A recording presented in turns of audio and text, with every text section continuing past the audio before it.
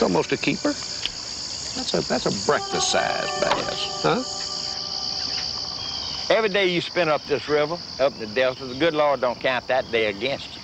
I believe that, sure enough. My mind's absolutely at ease when I'm up here. So naturally, the less worries you got, the longer you're gonna live. Ain't that right?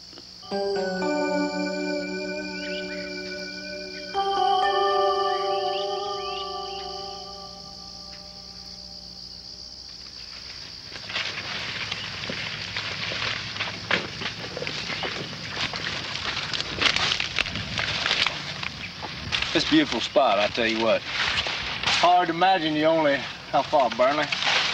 What's that? 20 minutes, 30 minutes from Mobile? 20.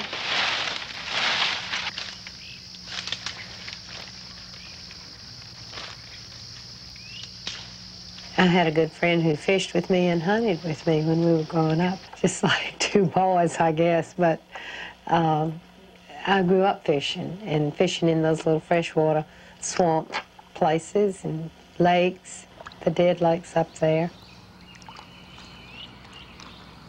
We really have here a national treasure in the fact that we have some of the most beautiful um, land that you've ever seen, beautiful water systems that you've ever seen.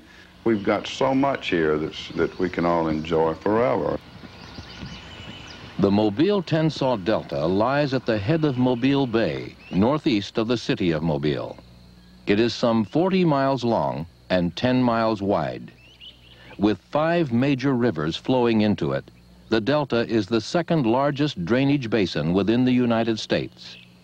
20% of all the nation's fresh water flows through its quarter million acres of swamps, marshes, and bottomland hardwood forests. With its rich organic matter and soils extending to depths of 70 feet, the delta filters and purifies the water flowing through it and acts as a buffer by storing floodwaters like a giant sponge. It is valuable habitat for 250 species of birds, 234 species of fish, and 37 species of endangered plants and animals. Ever since prehistoric time, people have depended on the delta's rich resources. Between 95 and 98 percent of our commercial seafood depend on the estuary for part, at least part of their life cycle. The delta provides the basis for the food web. And so many of these both invertebrate and vertebrate species that we depend on for our multi-million dollar seafood industry uh, basically start out in one way or another with the delta.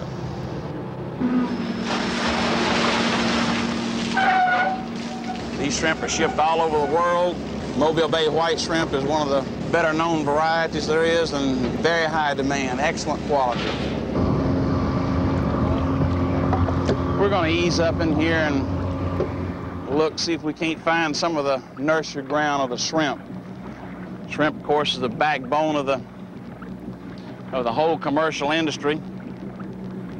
It's these estuaries like this right here that where the shrimp come in their larva stage to to mature before they return to the Gulf, the open waters where the commercially are where they're harvested. That's a nice medium-sized shrimp hiding in the grass here, trying to keep away from all the specks and reds that lead him up. For years, the, even the commercial industry kind of took this area for granted. We just went out when, when shrimp season opened, when they got large enough to catch and started catching our shrimp.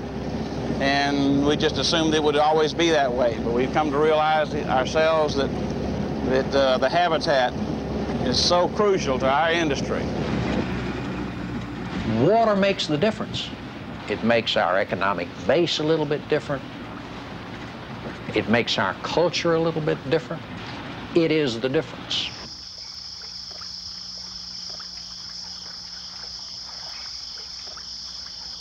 Call crab, Charlotte. These estuaries, this bay, these rivers, these streams, this sets us aside from other places in the United States. How far is the Tombigbee straight across here? Oh, 10 miles. 10 miles, and about 35 miles they'll Yeah. come together, and that's what we think of as the beginning of the delta.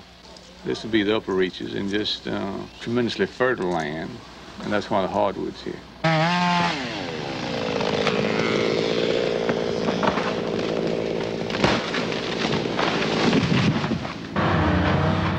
Forestry in Alabama is the number one manufacturing industry in the state. In the four county area here, last year or the year before, contributed $650 million to the area economy. For every dollar that this landowner is getting paid for his timber, uh, 12 more dollars accrue to the economy. That is the folks that are sawing the timber down, manufacturing the lumber, selling the lumber. And so uh, trees have a multiplier effect of 12. About 13,000 people, I believe, in the four county areas on the lower river system here depend on forest products industry for their employment. Without the Delta, you don't have your shrimping, you don't have your crabbing, you don't have your restaurants, you don't have your uh, commercial fishing, you don't have your sport fishing. Everything starts right here in the Delta.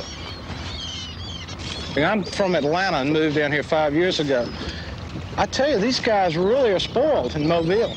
Uh, within 60 miles, you can see a black bear or a, a cougar or wild pigs and deer.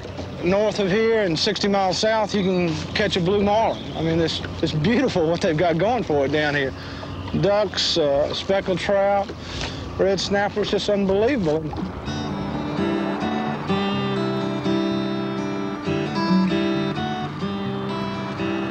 Not too many places you can come out and enjoy a sport like this. You know? I fish the Delta, I fish all the rivers, and uh, every chance I get, uh, I have to work every now and then to tackle shop. But I was, uh, like today, I went to Mobile, but the main reason for it, I wanted to check, see how the water looked on the causeway. That's a nice fish he's got. It's a dream come true if it'll only remain the same.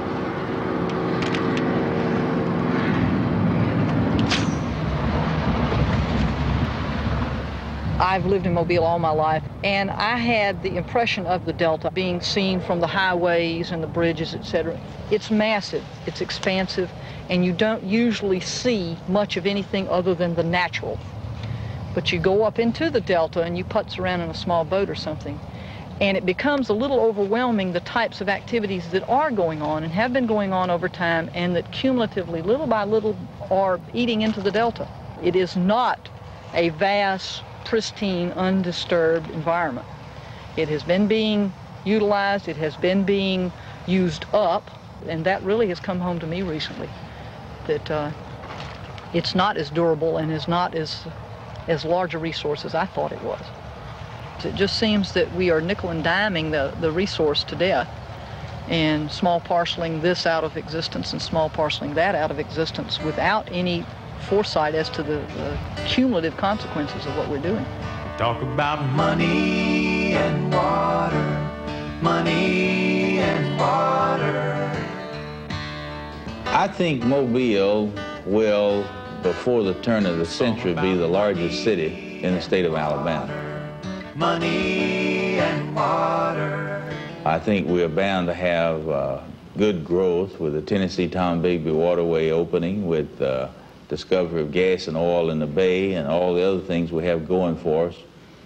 Uh, we're bound to have uh, considerable growth. Money and water can both be found. Seeking that lowest common ground. People on every side of town drinking those liquid assets down. Mobile's coming back. You can see and hear, and just about uh, every block has got something going on right now in terms of rebuilding, and renovation, and so forth. I think there's a lot of, a very large amount of expectation that there'll be a large amount of growth as a result of the Tenn-Tom. We're counting on it. I think they need a plan for, you know, on, on the big scale. Um, they need to be optimistic that Mobile is really going to get big. The long-range plans of like, what is the cumulative effect of all this, I don't think anyone's really sat down and put the pencil to it. Uh, it's a little hodgepodge of something here. They permit this activity, they permit the next activity here, and then the cumulative effect is no one's ever added all these things up to actually just see what the ultimate effect is. And I think someone needs to do some studying on this. Who? I don't know. That's the thing. There's no one really in charge. Uh, it's just a bunch of agencies that are permitting this and okaying this or denying this action and this and that. And I don't think that anyone as a planning committee has ever sat down and looked at the, the entire scope of the matter. If the problem isn't a crisis, very few people see it as a problem.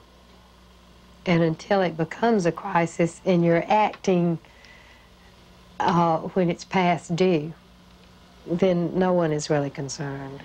Could this growth have an impact on delta wetlands? Uh, I don't really know much about that. I really don't know. I don't have many thoughts on that subject. I don't know that much about the, all that stuff.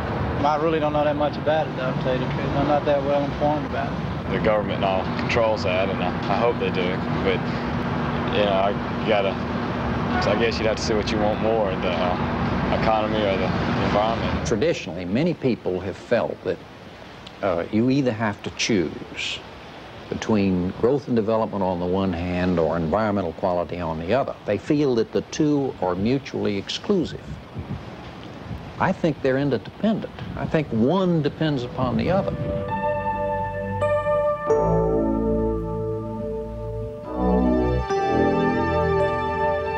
If in the uh, quest for jobs and incomes, we pollute this bay, fill in these wetlands, drain these marshes, and degrade the quality of life here that we so depend on in the Mobile area, we're going to be in big trouble.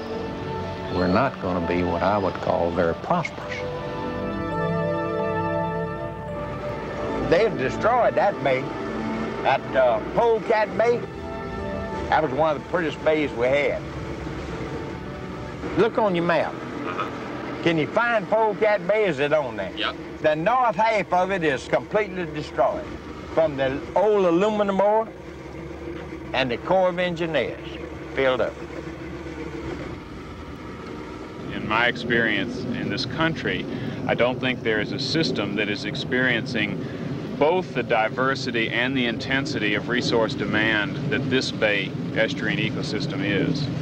A natural ecosystem with physical and chemical and biological and geological components that absorbs a tremendous amount of strain.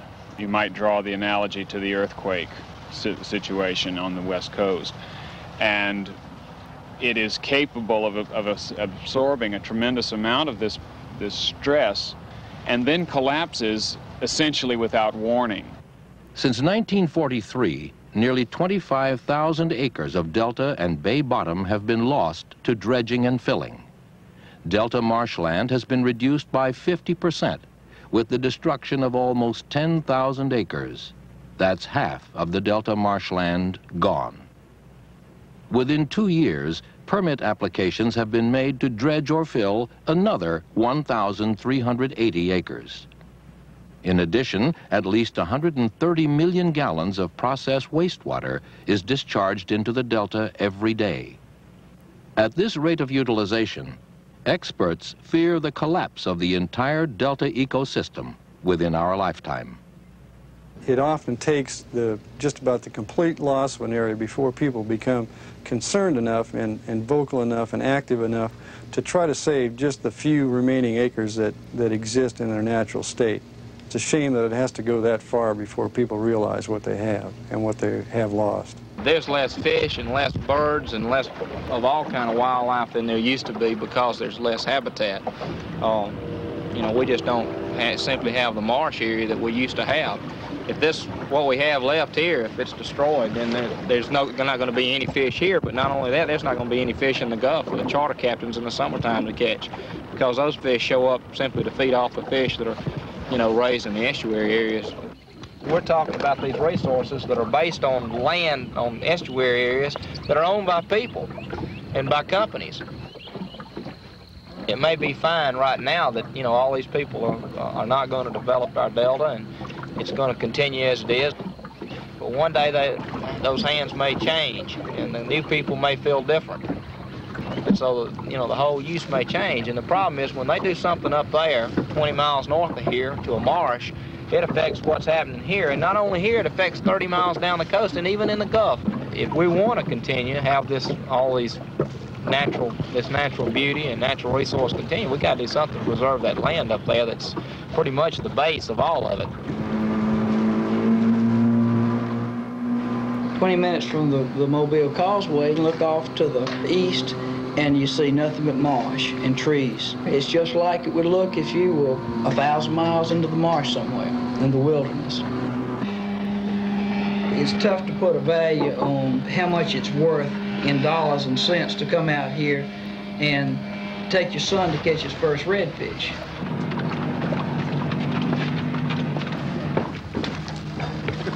I'm a laid back user. I don't, I don't catch many fish, but I just come up here and, and uh, drink the beer and uh, goof off. I let my leader here uh, take me to the duck blind and fix it up and make me do some work. What kind of fish is that? Redfish, baby. Supper ready? It's a way to uh, get your peace of mind back from uh, running around the city and uh, doing what you have to do every day of your life to survive.